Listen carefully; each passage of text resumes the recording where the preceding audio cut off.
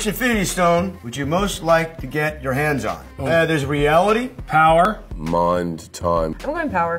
I'm going with time. Everyone wishes they could have a time machine, right? So I'm going to take time. Doug. You picked Doug. Doug Stone. The Doug Stone. By the way, Right?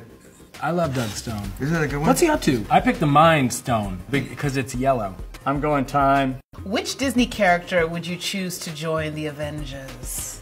I feel Elastigirl. like Genie. as much as I love Sorcerer Mickey, it's Elastigirl. Elastigirl. I want Genie. I feel like I'm gonna fail. I mean, Hercules feels like just on the strength level, although the genie providing three wishes could be really vital in beating Thanos. Because it's like, oh no, we failed, but like, could I have a wish to just try that again? I'm going with Queen Elsa. She's a badass. That's kind of who I'm going with too. Even though Sorcerer Mickey is really, I'm tempted. I mean, there's there's function and then there's just personal preference. I'm gonna go from a standpoint of function. It's got to be Genie. I'm going you- with Genie, If you don't too. pick Genie, you're kind of an idiot.